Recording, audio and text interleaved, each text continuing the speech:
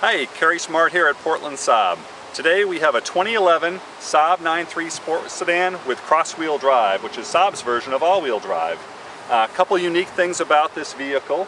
Um, cross-wheel drive models come with these great 17-inch wheels, and what's nice about it is, it's not a low-profile tire. It's a good, good size profile, which means that it's terrific in the winter, built to take potholes, and the increased ground clearance that you get with all-wheel drive is going to mean that it's even uh, better on rough roads and whatnot.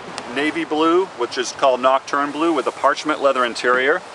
Very, very popular. Saab does have the wood grain trim on the doors and the center stack.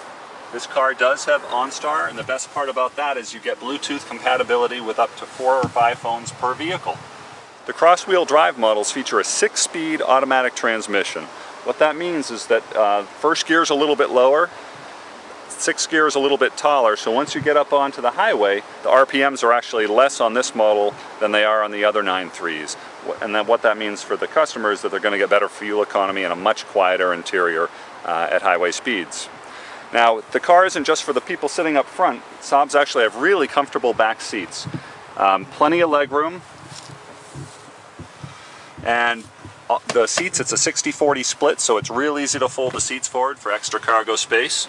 And all Saabs, um, starting way back in the 70s, have always had the uh, ski pass-through. So behind this armrest here, you flip it forward, and then you pull this hatch down, and oops, must be locked. And uh, it enables you to put skis in and still carry four passengers. Coming around to the trunk area, um, spring-loaded, goes up nice and easy. Good amount of space.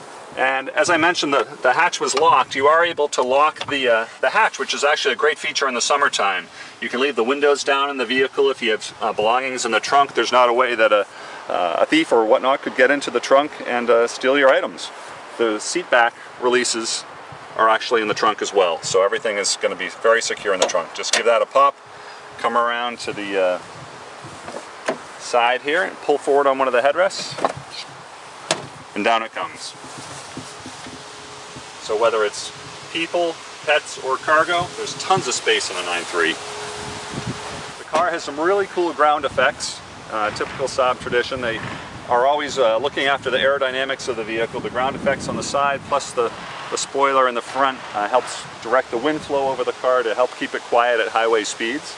Uh, the front end, which was restyled a couple years ago, is nice and smooth. It has the projector lens headlamps which give a, a broader, broader um, reach and high beams are absolutely phenomenal because it uses uh, a standard halogen plus the projector lens at the same time. So high beams are super bright. Great car for driving at night. One nice thing that all the new Saabs have, um, all the new 9.3s, is uh, paddle shifters.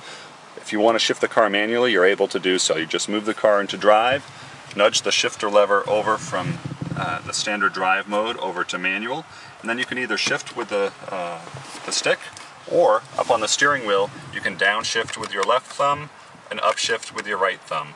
Also included here are your stereo controls, um, volume and station changing. Over here you have your trip computer as well as uh, answering or uh, declining a phone call. And again, this is for the Bluetooth uh, compatibility for your cell phone.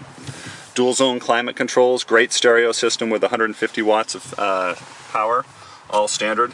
Everyone loves the MP3 plug-in there, so you can uh, plug in your iPod.